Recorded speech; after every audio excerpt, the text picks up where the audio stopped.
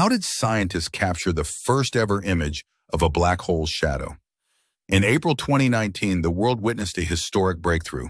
The Event Horizon Telescope collaboration released the first ever image.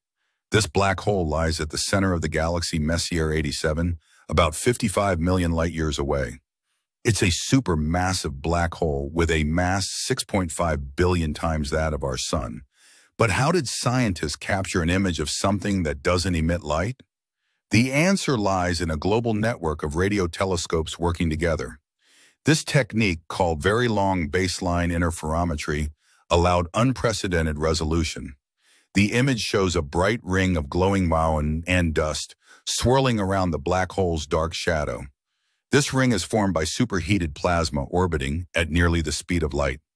This groundbreaking image confirmed predictions made by Einstein's general theory of relativity. Since then, the EHT collaboration has been working on imaging Sagittarius A.